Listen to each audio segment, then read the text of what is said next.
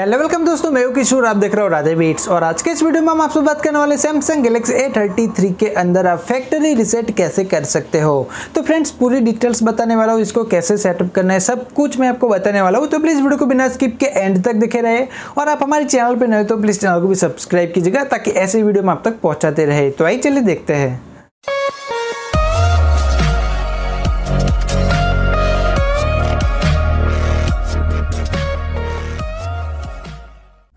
दोस्तों, ये हमारे पास सैमसंग गैलेक्सी A33 तो क्या वीडियो शुरू करने से पहले एक बात मैं आपको बता दूँ कि यहाँ पे आपको सबसे पहले तो आपका जो लॉक स्क्रीन का पासवर्ड है, वो याद रहना चाहिए। फिर दोस्तों गैलरी में जो भी आपका फ़ोटोज़ वीडियोज़ वगैरह है, वो किसी दूसरे फ़ोन में कॉपी कर लो। या कि व्हाट्सएप चैटिंग हो गया, जितने भी अपने इसके अंदर कॉन्टैक्ट ऐड किए, सब कुछ, पूरा ऑल डेटा का आप जो बैकअप बना लो। अगर आप कंप्यूटर लैपटॉप में, किसी दूसरे फ़ोन में, किसी के अंदर भी इसका बैक बैकअप जो बना सकते हो। फिर दोस्तों, यहाँ पे आपको गूगल ड्राइव का भी ऑप्शन देखने को मिल जाता है, यानी कि उसमें भी आप बैकअप बना सकते हो। बट हमें पूरा फ़ोन फॉर्मेट करना है चाह के भी कोई डेटा जो रिकॉर्ड ना कर पाए, ऐसा करना है। तो आपको जाना होगा सेटिंग्स में जनरल मैनेजमेंट पे क्लिक करना है। जैसे गैस यहाँ पे आप क्लिक करते हो तो रिसेट का ऑप्शन देखने को मिल जाता है। यहाँ पे गैस आपको क्लिक करना है, यहाँ पे आप देख सकते हो फैक्ट्री डेटा रिसेट यहाँ पे सिंपली एक बार आपको क्लिक करना है और यहाँ पे आप देख सकते हो Google account system and apps data settings download apps music picture all other users data यानी कि इतनी सारी चीज़ें हमारे फ़ोन के अंदर से जो है फॉर्मेट होने जा रही है। यहाँ पे आपको रिसेट पे क्लिक करना है। यहाँ पे आपको जो लॉक स्क्रीन वाला पिन है, वही एंटर करना है। यहाँ पे आपको नेक्स्ट पे क्लिक कर देना है। डिलीट ऑल कर देना है। तो हमारा फ़ोन जो रिसेट की प्रोसेस में चला गया है, फ़िलहाल आपको इसको कुछ भी नहीं करना है।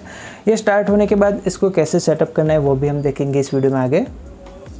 तो गैस जैसे कि आप देख सकते हो, यहाँ पे सैमसंग गैलेक्सी लिखा हुआ आ चुका है। तो आपको शांति से वेट करना है। इरेजिंग लिखा हुआ आ चुका है।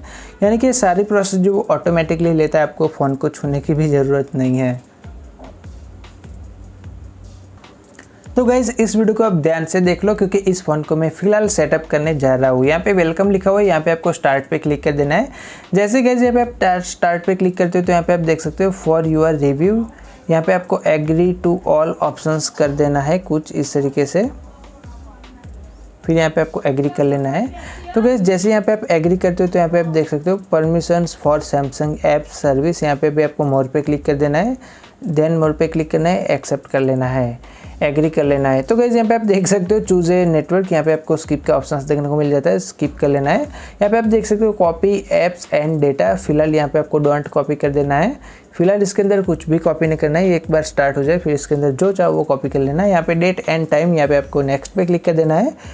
जैसे कैसे यहाँ पे आप नेक्स्ट पे क्लिक करते हो गूगल सर्विस यहाँ पे मोर पे क्लिक करना है देन एक्सेप्ट कर लेना है। यहाँ पे आप देख सकते हो प्रोटेक्ट यूर फ़ोन यानी कि फ़िलहाल इसके अंदर पिन पैटर्न पासवर्ड कुछ भी नहीं लगना है स्किप कर लेना है स्किप एनी वे यहाँ पे गैस लोडिंग लेगा, और यहाँ पे आप देख सकते हो प्लीज़ वेट लिखा हुआ आ चुका है. गेट रिकमेंडेड ऐप्स यहाँ पे आप चाहो तो इसको इनेबल डिसेबल कर सकते हो, फिर यहाँ पे आपको नेक्स्ट पे क्लिक कर देना है. सैमसंग अकाउंट यहाँ पे आपको स्किप कर लेना है स्किप करना है. यहाँ पे आप देख सकते हो you are all set up finish यहाँ पे गैस जैसे क्लिक करते हो तो हमारा फ़ोन जो फाइनली स्टार्ट हो जाता है. यानी कि अभी जो रिसेंटली हमने इसके अंदर जो फैक्ट्री डेटा रिसेट किया, वो कम्प्लीटली हो जाता है. कुछ इस तरीके से यहाँ पे आपको ओके करके एग्री पे क्लिक कर देना है.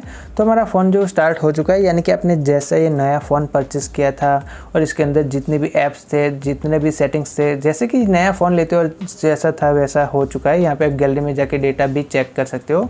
सब कुछ ऑल फॉर्मेट हो चुका है। तो कुछ इस तरीके से सैमसंग गैलेक्सी ए के अंदर आप फैक्ट्री रिसेट कर सकते हो।